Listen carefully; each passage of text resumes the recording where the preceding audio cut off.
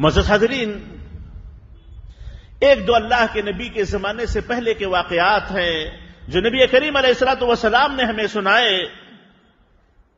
उसमें से एक वाकया, राहिब जुरैज का वाकया, कि पिछले जमाने में बनी इसराइल में एक शख्स थे, बड़े ही इबादत गुजार नेक, बड़े ही नमाजी, हमेशा अल्लाह की इबादतों में रहने वाले जुरैज, जिनका नाम था उनका वाकया कहते हैं कि एक मरतबा में नमाज़ में था। मेरी माँ ने मुझे आवाज़ लगाई। मैं नमाज़ में हूँ, मैं इस फ़िक्र में था कि मैं माँ की आवाज़ सुनूं या नमाज़ मुसलसल कर लूँ, नमाज़ मुकम्मल कर लूँ।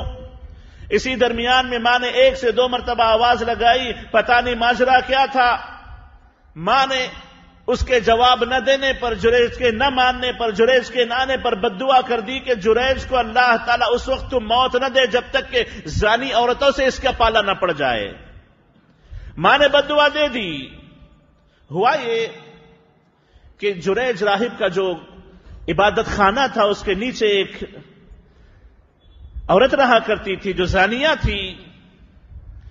उसने जुरेज राहिब को गुमराह करना चाहा। आकर के जुरैज को बुराई की दावत दी।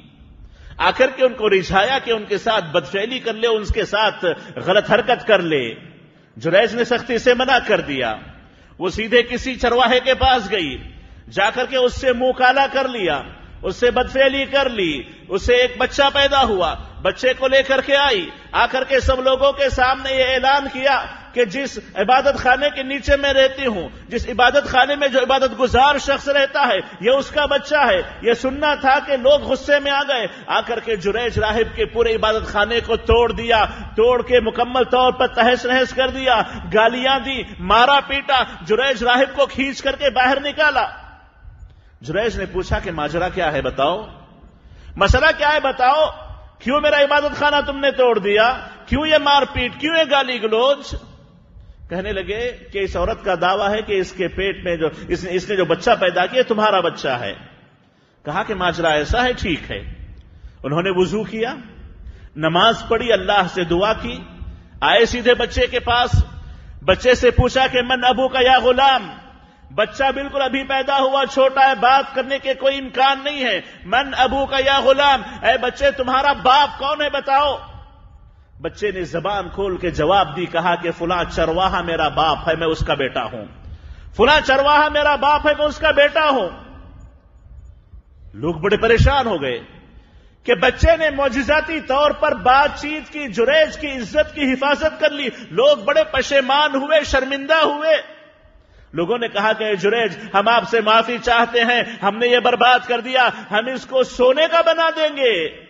कहा कि, नहीं इसको उसी तरीके से मिट्टी का था जैसे मिट्टी का वैसे बना देना। अल्लाह ने हजर रहमल्ला इस हदीस की शराह में लिखते हैं कि देखो नमाज़ मुसीबतों से नजात का एक बेहतरीन ज़रिया है। देखो नमाज़ मुसीबतों से नजात का एक बेहतरीन ज़रिया है। अल्लाह ताला नमाज़ के ज़रिए जुरैज की हिफाजत कर लिया। उनकी ये नमाज़ की पाबंदी, नमाज़ पढ़ना, उनकी हिफाजत का एक ज़रिया बना, जिस आदमी की ज़िंदगी में नमाज़ बहसीत एक उसकी मशगूलियत, इबादत के मौजूद हो, अल्लाह ताला बड़ी बड़ी मुसीबतों से उसकी हिफाजत भी करते हैं। मुसीबतें आ भी जाए तो अल्लाह ताला उन मुसीबतों से उसको कोई रास्ता ज़रूर निकाल देते हैं। इसीलिए नबी करीम सलाम ने अपनी ज़िंदगी में हमेशा नमाज़ की पाबंदी की और मजीद ये कहते हैं, सहाबा, काना इधर हजबहु अमरुन फजिया कि जब उनको कोई मसला परेशान कर देता, फौरी नमाज़ की तरफ़ दौड़ते, फौरी नमाज़ की तरफ़ दौड़ते, बिलाल को आवाज़ लगाते, या बिलाल, अकीम सलाह अरहना भी ए बिलाल, नमाज़ की इकामत दो, नमाज़ कायम करो नमाज़ के ज़रिए हमें राहत पहुंचाओ, सुकून पहुंचाओ। मजद हाजरीन हम अगर चाहते हैं कि हम मुसीबतों से महफूज रहें, आजमाइशों से अपने आप को बचाए रखें, नमाज़ की पाबंदी करें, अल्लाह ताला नमाज़ की पाबंदी के ज़रिए इंसान की हिफाजत कर लेता है।